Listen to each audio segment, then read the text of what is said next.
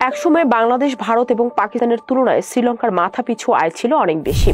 কিন্তু বর্তমানে দেশটিকে চলতে হচ্ছে অন্যের সাহায্য কিংবা দানের মধ্য দিয়ে। খাদ্য, জ্বালানি, বিদ্যুতের অভাবে জনসাধারণের জীবন এখন দুর্বিষ হয়ে উঠেছে। সম্প্রতি জাতিসংঘের মহাসচিব সতর্ক করে বলেছেন, ভয়াবহ খাদ্য সংকট রয়েছে শ্রীলঙ্কায়। দেশটির সুপারশপ ফার্মেসিতে পণ্য এখন নেই বললেই চলে। অর্থনৈতিক সংকটের কারণে দেশটিতে পেট্রোল সরবরাহ ব্যাপক হারে হ্রাস পাচ্ছে। গাড়ির ট্যাঙ্ক পূর্ণ করার জন্য গাড়ি চালকদের প্রতিদিন ঘণ্টার পর ঘণ্টা লাইনে দাঁড়িয়ে অপেক্ষা করতে দেখা যাচ্ছে। জ্বালানির জন্য লাইনে দাঁড়িয়ে মারামারি করছেন সাধারণ মানুষজন। অতিরিক্ত গরমে অসুস্থ এবং প্রাণও হারিয়েছেন অনেকে। গত কয়েকদিনে জ্বালানির জন্য লাইনে দাঁড়িয়ে দেশটিতে মারা গেছে প্রায় দশ জন। যাদের বেশিরভাগেরই হৃদরোগে আক্রান্ত হয়ে মৃত্যু হয়েছে। জ্বালানির সাশ্রয়ের জন্য গত সপ্তাহে পার্লামেন্ট অধিবেশন বাতিল করেছিল দেশটি। সংসদীয় কর্মকর্তারা জানিয়েছেন, অপ্রয়োজনীয় পেট্রোল ব্যবহার এড়াতে গত বৃহস্পতিবার এবং শুক্রবার সংসদীয় অধিবেশন বন্ধ ছিল।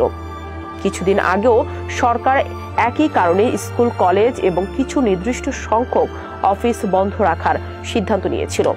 সত্তর বছরের মধ্যে সবচেয়ে বড় আর্থিক সংকটের মধ্য দিয়ে যাচ্ছে রাবণের দেশ শ্রীলঙ্কা। বিদেশি ঋণের ভারে জর্জরিত দ্বীপ রাষ্ট্রটির অর্থনীতি।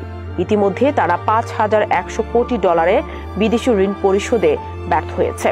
সব পরিস্থিতি বিবেচনা করেই লঙ্কান প্রধানমন্ত্রী এখন চীন, ভারত ও জাপানকে নিয়ে একটি দাতা সম্মেলন করতে চাচ্ছেন। গত বাইশে জুন দেশটির প্রধানমন্ত্রী বিক্রমা সিংহে জানান, আমাদের ভারত, জাপান ও চীনের সমর্থন দরকার। তারা আমাদের ঐতিহাসিক মিত্র। বিক্রমা সিং আরও বলেন, বিশেষ করে নয়াদিল্লির সাথে অতিরিক্ত সহায়তার বিষয়ে আলোচনা করবেন তিনি। এর পাশাপাশি আগামী মাসের মধ্যে যুক্তরাষ্ট্রের অর্থ মন্ত্রণালয়ের একটি বিশেষ টিমও শ্রীলঙ্কা সফরে আসবে বলে জানিয়েছেন তিনি।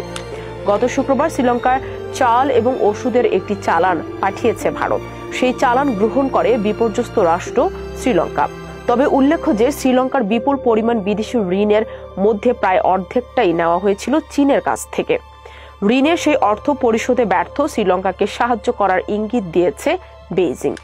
তাছাড়া আন্তর্জাতিক তহবিল সংস্থার আইএমএফ এর সাথেও আলোচনা চালিয়ে যাচ্ছেন বিক্রমা সিং সরকার।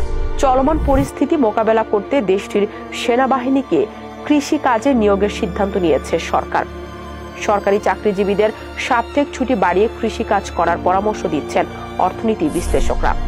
কারণ গত বছরের এপ্রিল মাসে প্রাক্তন প্রেসিডেন্ট গোতাবায়া রাজাপাকসে হঠাৎ করে কৃষি কাজে রাসায়নিক সার বন্ধ করার ঘোষণা দিয়েছিল। এরপর থেকে দেশটির ধান সহ অন্যান্য কৃষিজাত পণ্য উৎপাদনের ধস নামে। ফলে দেশটিতে তখন খাদ্যের প্রবল ঘাটতি দেখা দিয়েছিল। সাধারণ জনগণের খাদ্য চাহিদা মেটানোর জন্য পর্যাপ্ত বৈদেশিক মুদ্রাও ছিল না শ্রীলঙ্কার রিজার্ভে।